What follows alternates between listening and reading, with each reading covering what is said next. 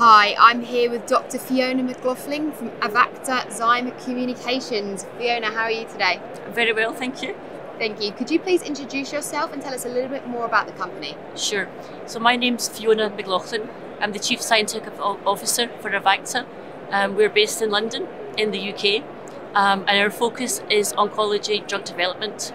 And we work on a number of assets from very early stage research right through into phase one clinical trials. Thank you. So, how does Avacta bring value into the biospace? So, Avacta works in an area called the tumour microenvironment.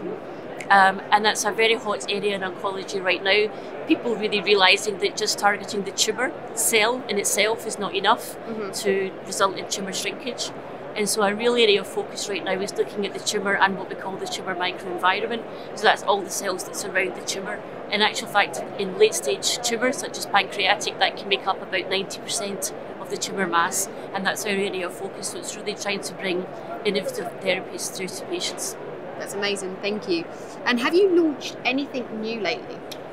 So we don't uh, we don't launch products in our therapeutics mm-hmm. division. Actually, in our diagnostics division, we do. That's a separate part of the organisation. Um, I'm not representing them here today, but that's actually an area where we are working on marketed products. In the therapeutics division, it's more about platform technologies. Okay. So we do we do launch novel. Um, novel targets, for example, that we're trying to bring to market, but they're obviously some some way off being being marketed. Of course. Thank you. And what does the future look like for Avacta? So the future is actually very bright. Um, we've been we've been rebuilding the company. We've recruited a number of new staff. We've relocated to London from, from Cambridge. and um, we're listed on the London Stock Exchange on AIM. Um, and it's a really exciting time because the molecule we have in phase one, we call it Pathfinder, mm-hmm. and that actually demonstrates that our platform technology works and that these molecules will result in safer chemotherapy for patients. So the next 12 months for Avacta is a really exciting time. Amazing. What made you choose to move from Cambridge to London? A, a number of factors. Um, where we were in Cambridge was actually on a science park. Right. And actually, one of the reasons you want to be in Cambridge is because you, you network mm-hmm. and you communicate.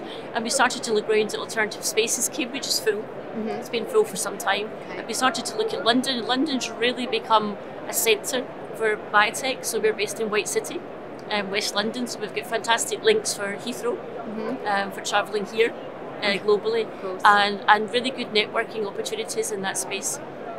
Thank you. And lastly, why are you here at Bio? So actually, I'm here as the Chief Scientific Officer um, to, to talk to people about our platform because the fact has been you know, it's been quite a small company. Mm-hmm. Um, it's not necessarily known in, in, the US and on the global field.